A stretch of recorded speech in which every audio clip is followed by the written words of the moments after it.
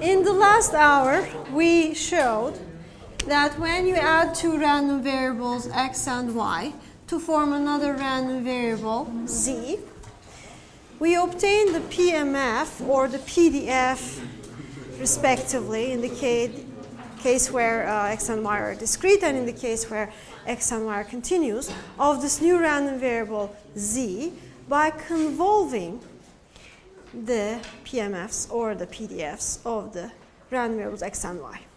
Okay, so z is x1 is x plus y, x and y are independent and continuous.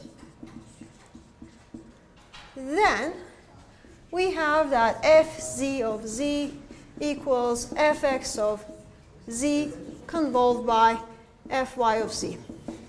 Now let's use this in a very important example.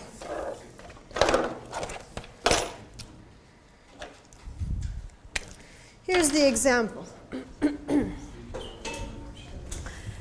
X, uh, I thought I got black, so let me get black.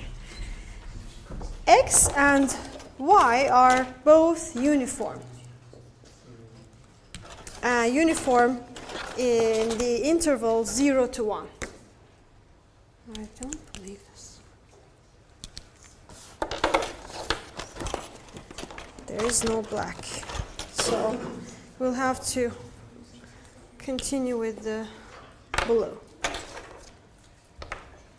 Okay.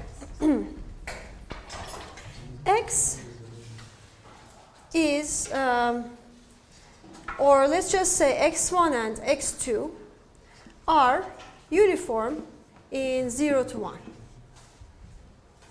Okay? So fx1 of x looks like this. And fx2 of x also looks like that. Okay? And we need the convolution of fz of z is fx1 of z convolved by fx2 of z because z is defined as, or let, let's call this z1. z1 is defined as the sum of x1 and x2. Let's do this convolution together. Okay. What are we doing? fz1 of z is the integral minus infinity to infinity um, f x1 of x f x2 of z minus x dx. Okay? All we need to do is determine the limits of integration, essentially, because the functions are extremely simple. Now, f x1 of x looks like this it's just flat from 0 to 1. fx2 of z minus x, on the other hand, what does it look like? fx2 of minus x is simply the flipped version of fx2 of x. So this would be fx2 of negative x, right? Right. fx2 of negative x is simply um, the flipped version of fx2 of x. Now, fx2 of z minus x, what is that? The flipped version shifted by z. If z is positive, it's this shifted to the right. If z is negative, it's shifted to the left. Okay? So, for example, um, consider f z minus x, where z is negative. It's going to look like this. Okay? z is less than 0. What is this point? This point is z, and this point is z minus 1. Why? Because the whole support of the function is 1. I flipped it. so basically, I took this, I flipped it, and I shifted it by z. Okay? So this end point is at z, the other end point at z minus 1. Okay. Now, so we understand from this picture that when z is negative, the product of these functions is 0 everywhere. Right? So this integral is equal to 0 whenever z is less than 0. Any problem? When z is negative, this integral is 0 because the two functions don't overlap. Now let's think about the positive value of z. Let me draw it uh, separately here. Um, this is my fx1 of z, fx1 of x, sorry. And my fx2 is now looking like this. z is here, z minus 1 is here. The range of z for this picture is between 0 and 1. Okay? Now, if z is between 0 and 1, there is some overlap between the two functions. And the integral is the area of this shaded region. That is equal to what? z times 1, right? Which is z. Okay?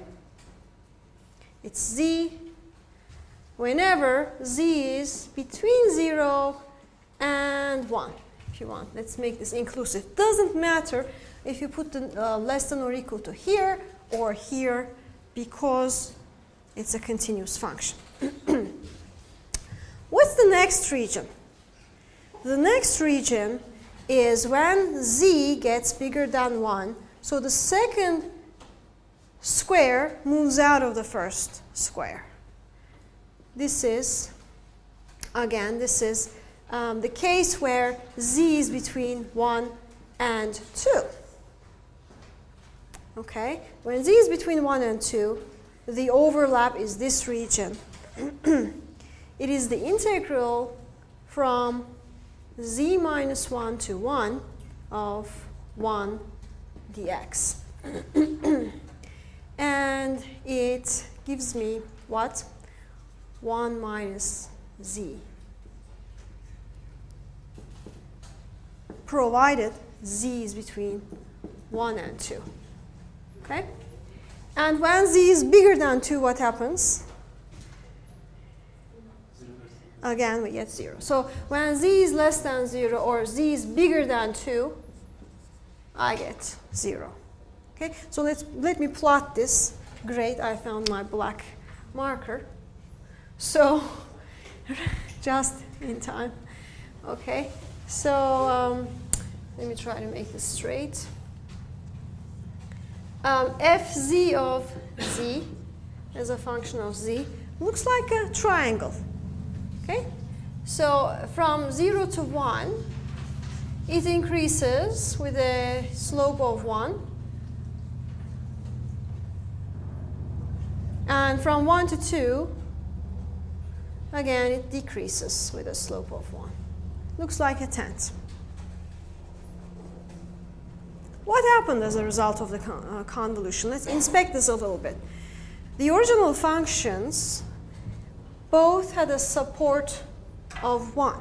When we convolved them, the support of the resulting function has increased to 2.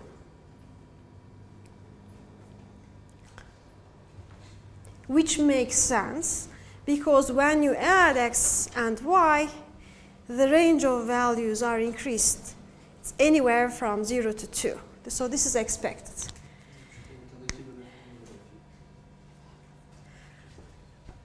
I guess you didn't follow, huh? Which part? This. This. This is when, um, this is the case where the second function sliding over the first function. This is its position when z is between 0 and 1. This is its position. This is its position where when z is between 1 and 2. This is fx2 of um, z minus x when z is between 1 and 2. Okay? And this, this position is always equal to z. This position is e always equal to 1 minus z. Okay? To, to uh, be economic on the board, I use the same figure for two positions. Yes, please.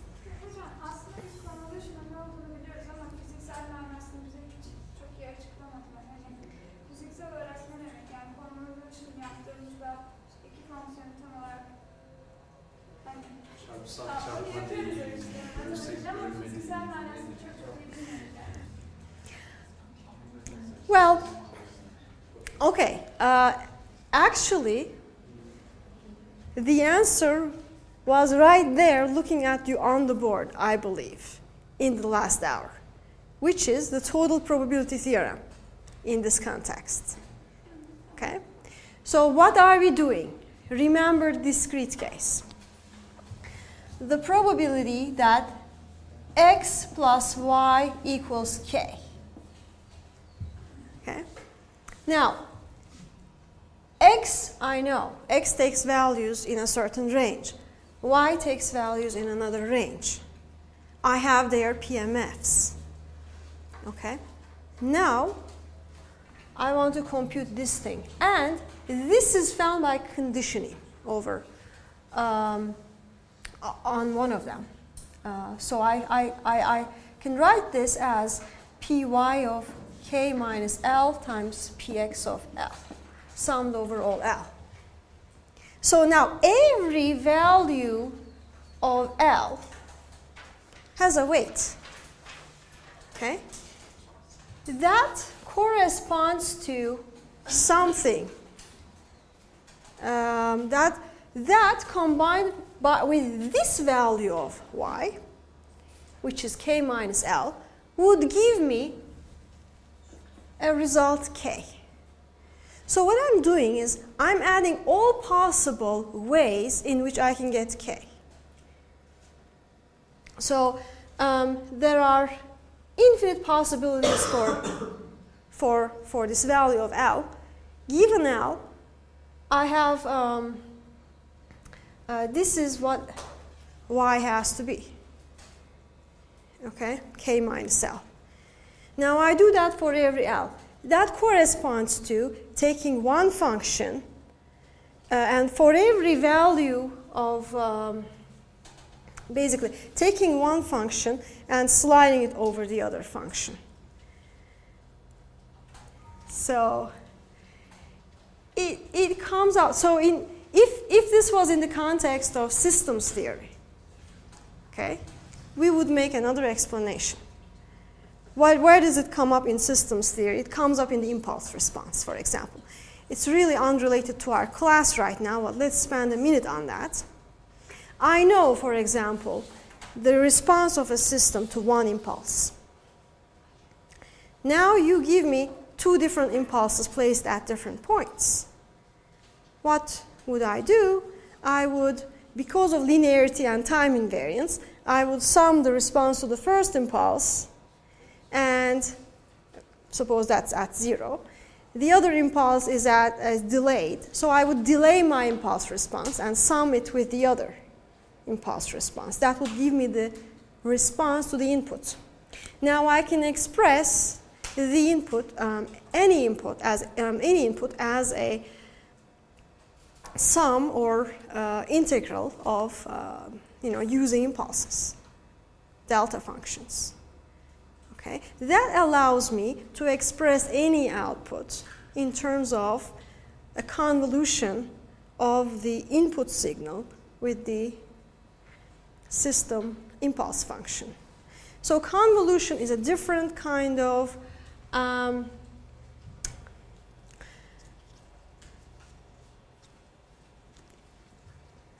I would say, well, it's a new operation. Um, using functions. That uh, is very related to um, this idea of um, total probability theorem in probability and the idea of impulse response in systems um, and, and so on. Okay? So anyway, after this digression, what I'd like to do is add another independent random variable. So let's say z3 is x, um, or, or not, let's not say this. Let me erase this. This is because this is general.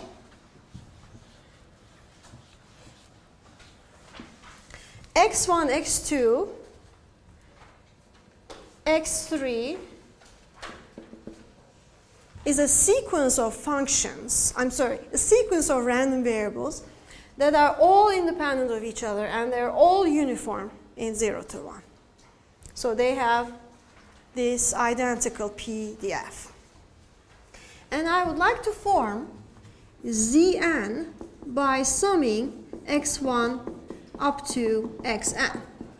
Now, first of all, I'd like to consider Z3, which is x1 plus x2 plus x3. But notice that z3 is nothing but z2 plus x3. I'm sorry, z3 is nothing but this z1. Um, maybe the notation is a little off. Um, so let, let, me, let me call this z2. How about that? So z, um, zn minus 1 is is x1 plus x2 plus uh, all the way up to xn for n bigger than or equal to 2. Hmm? Okay. So, now, z2 is z1 plus x3. Okay? I already have computed the PDF fz1 of z, right? I already know this. It's here. It's a triangle function. And I know the PDF of x3 that I know. This is known. fx3 of x is known. And I know that this is independent of this. Why? Because this is a combination of x1 and x2, and x1 and x2 are both independent of x3. So these two are independent. So all I have to do to find fz2 is to convolve these two functions. Any question? No? Okay. So fz2 of z is fz1 of z convolved by fx3 of uh, z, which is the integral from minus infinity to infinity f z, um, well, f, if you want, f uh, z1 of um, x, f x3 of z minus x dx. What does this mean? This means keep z1, f z1 fixed flip and shift fx3. Okay? The value of the shift is exactly equal to z. So for every z, we'll compute the area in the overlap of the two functions. So there are four or five cases I'd like uh, you to focus because I'm going to draw all the sketch all the cases on this figure itself. Okay? So, case one. So basically, I'm, um, let me rewrite this as a function of x because x is my running variable in the integration. fz1 of x, I have xz1 of x here. Now I need fx3 of z minus x. fx3 of z minus x looks like this. Let me use another color. It looks like this. It's not even, working.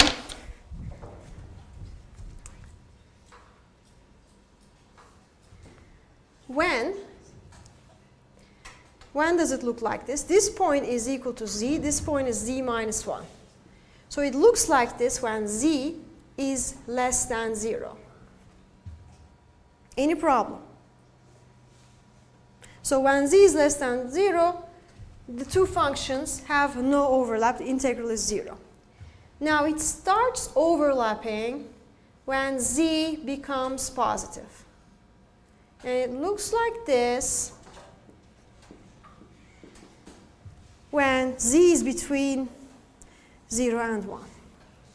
So I'm going to say f z2 of z is equal to 0 when z is negative. And it's the integral from 0 to z, 0 to z of z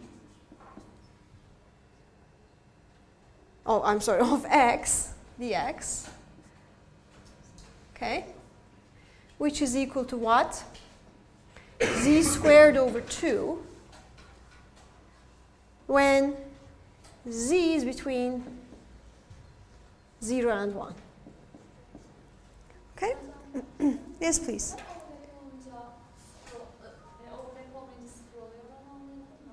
When the two functions have no overlap, when you multiply them, you get 0 everywhere. Right? That's why. so when the functions overlap like this, when you multiply, you get 0 everywhere except this region. now, what is the second region? Second region is when it, z crosses this boundary, which is at 1. So when z exceeds 1, the two functions start looking like this. There are two regions in the integration, from z minus 1 to 1 and from 1 to z. Okay, are you focusing? Okay. From z minus 1 to 1, x dx. And from 1 to z, what is the function here? 1 minus x? No, 2 minus x. 2 minus x. 2 minus x dx. Okay? What is that going to come out to be?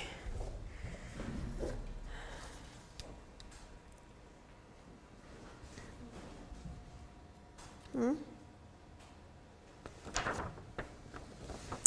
That's going to come out to be the following. Let me just write it down. It's equal to 3z minus z cubed minus 3 over 2. Okay. And uh, that is true whenever z is between 1 and, and 2. Okay. Let's verify that this and this meet at the endpoints. At z equals 1, this gives us 1 half.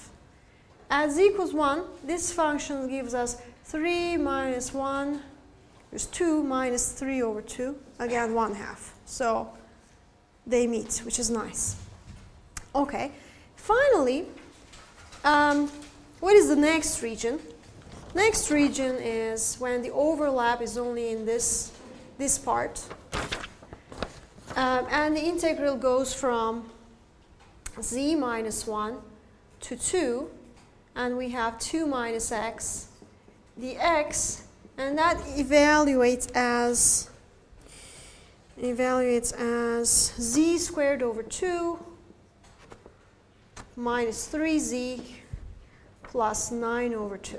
And that is valid when z is what? Between 2 and until it completely goes out, which, that, which corresponds to 3. And after 3, again, the integral is 0. So when z is bigger than or equal to 3, we have fz2 being equal to 0. Let's sketch, yes please.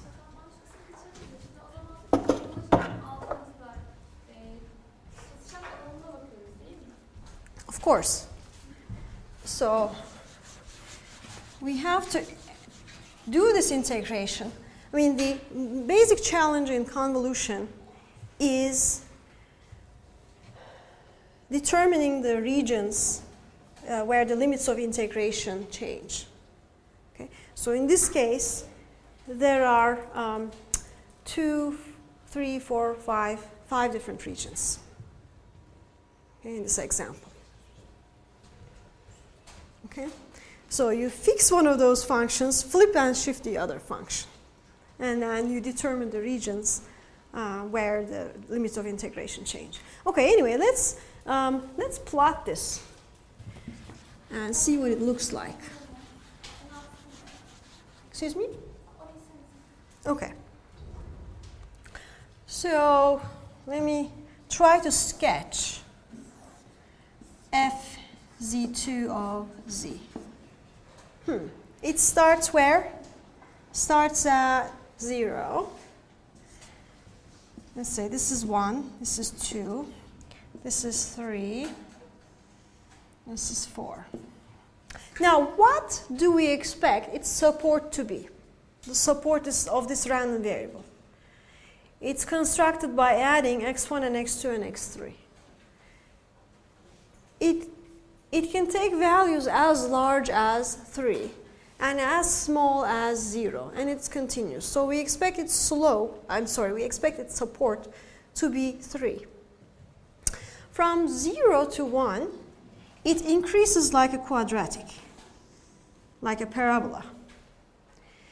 From 1 to 2, it becomes a third order polynomial. And if you plot it, you'll see that it looks like this. In fact, it's going to make its peak somewhere around 1.5, exactly at 1.5. So I should draw this. So it's going to turn around after 1.5. And at 2, at 2, it becomes, it goes into the third region, becomes a quadratic again. and at 3, at the point 3, at the value 3, it goes back to 0. Excuse me?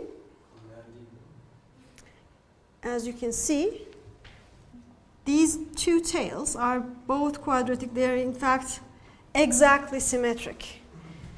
Okay, I try to make it look as symmetric as I can. Does it remind you of something? A Gaussian, right? It already starts looking like a Gaussian. Now, in fact, if you if we were to convolve one more square function one more uniform PDF with this, we would see that fz3 of z would be, wait a second, fz3 of z would have a support of 4, making a peak at 2, and it would look even more smooth and even more um, resemble a Gaussian even more. The value at this peak, what is it? Let's look at our computation. Um, we need to plug in 1.5 here. Okay, and you can obtain the peak. Okay? Now, in fact, you can show that as n goes, as n, as n grows, okay, Zn uh, becomes, you know, f, f Zn of z becomes Gaussian. Okay? what is the expectation of Zn? so the expected value of, or let's say expected value of Zn minus 1, because Zn minus 1 is the sum of x1 through xn. It's the expectation of the sum, which is the sum of the expectations. It's n over 2, right? What is the variance? Variance of Zn minus 1. Again, the random variables are independent, so the variance of the sum is the sum of the variances. The variance of each of these things, which are uniform from 0 to 1, is 1 over 12.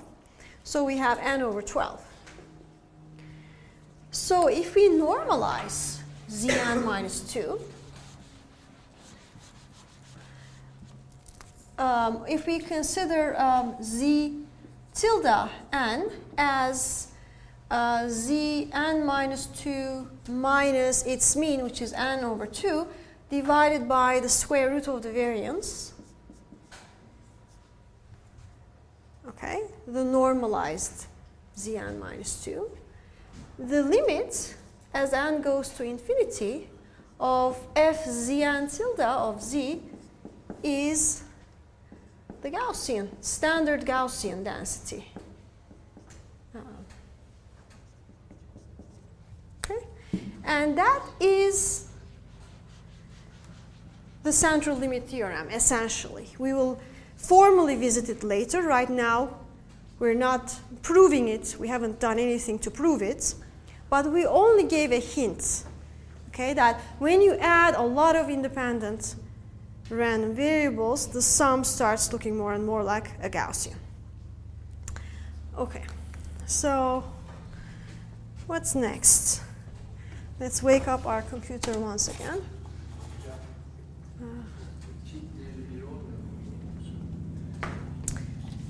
Um, I don't know.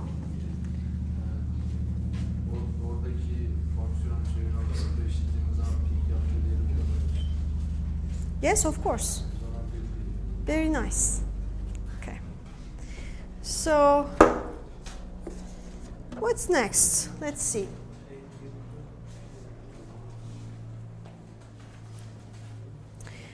The next topic is covariance and correlation. Um, so here I said something uh, sort of, which sort of reminds you something about independent and uncorrelated or uncorrelated random variables. I said the variance of the sum of independent random variables is the sum of the variances. And we know that this is not always true. It's true in the case of independence, independent random variables, but it's not independence is not necessary for what I said to hold. What is necessary for what I said to hold is uncorrelatedness. So this is the point in our class where we formally define uncorrelatedness, and in fact, um, formally define the concept of uh, covariance and correlation. The covariance of two random variables x and y is the expectation of x minus the mean of x times y minus the mean of y. It's a quantitative measure of the relationship between the two random variables. The magnitude of the covariance reflects the strength of the relationship between x and y. The sign conveys the direction of the relationship. When the covariance of x and y is zero, the two random variables are said to be uncorrelated when the correlation is positive, roughly speaking, they tend to increase or decrease together. When the covariance is negative, it implies that when x increases, y tends to decrease and vice versa. When y increases, x tends to decrease. Okay? So show, let's show that the covariance of x and y uh, is alternatively found as the expectation of the product minus expected x, expected y. This is a trivial exercise that we essentially did before in class, so I'd like you to work this out yourself. Okay? Now, it follows from this definition, from this expression, that when x and y are independent, they are also uncorrelated because when x and y are independent, expectation of the product is equal to the product of the expectation. So this comes out as zero, the covariance is zero, and the random variables are independent. Um, but uncorrelatedness doesn't imply independence. And here's our canonical example that we used before actually, both in the discrete and the continuous case. Let's assume the continuous case right now. Suppose um, the joint PDF of x and y are um, uniform, is uniform in this region that looks like a rhombus, symmetric around the origin. Are x and y independent? So fxy, xy, let's call this region A, um, is equal to a constant when x and y belong to the region A and it's zero otherwise. Are x and y are independent? No. Why not? Why, why not? Well, um, one easy way to argue is that, for example, when um, x takes the value 0, y varies between negative 1 and 1. On the other hand, when x takes the value 1, y has to be 0. So the value of x influences the range of values that y can take. Okay, x and y are not independent, but clearly the expectation of the product is 0, which is equal to the expected value of x times the expected value of y, because by symmetry the expectation of x is 0 and the expectation of y is also 0. So this is an example showing that two random variables that are uncorrelated are not necessarily independent.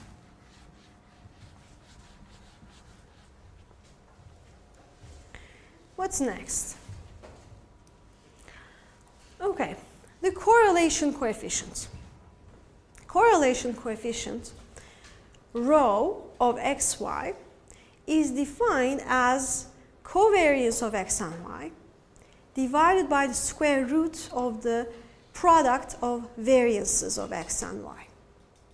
Okay? So what is the um, value of the correlation coefficient of a random variable with itself?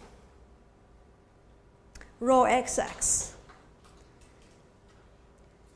Covariance, covariance of x with itself is, remember, what is the definition of covariance?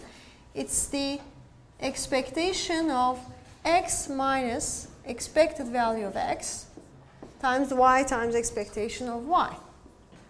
But y is in this case the same as x. So we have the covariance being equal to the variance. Covariance of x and x is nothing but the variance of x. Okay, we already know this. So basically the covariance is an extension of the de um, definition of variance to more than one random variable.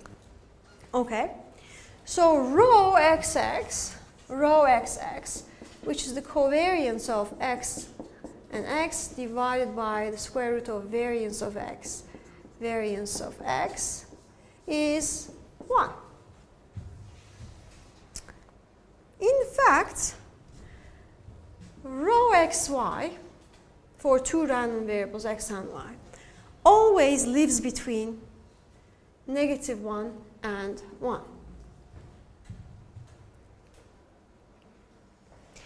And it takes these extreme values, negative 1 and 1, only when x and y are linearly dependent. What do I mean? Rho xy is equal to plus or minus 1 if and only if, very strong statement, y is equal to a constant times x. Let's actually compute rho xy when y is equal to a constant times x. now, remember that the covariance of x and y is, let's go back, is expected xy minus expected x expected y.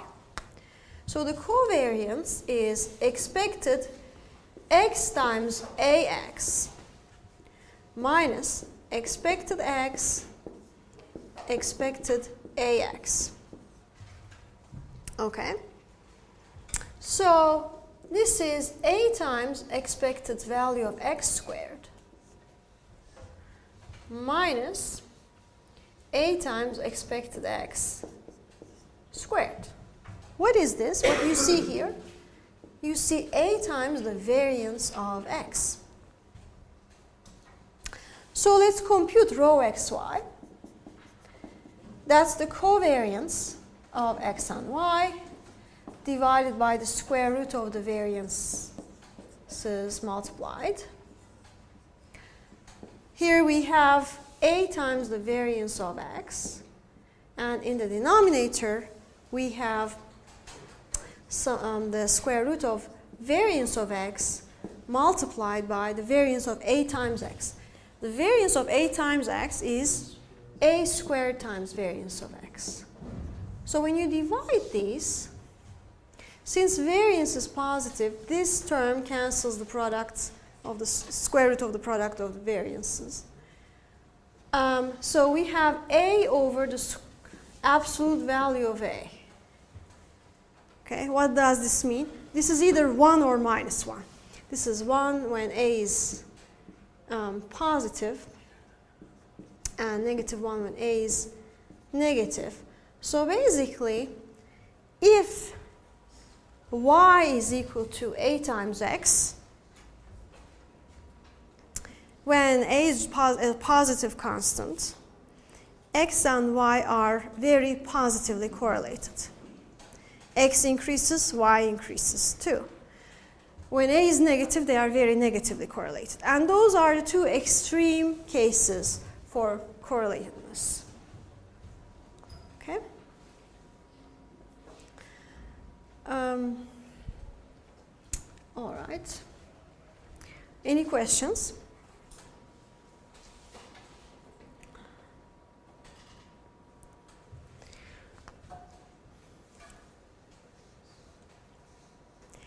The next thing is to show that, and we come to the beginning of this lecture where we're talking about the variance of the sum of two random variables. Variance of x plus y. In general, when x and y are not necessarily independent. This I would like you to show is equal to the variance of x plus the variance of y plus twice the covariance of x and y. How would we show this?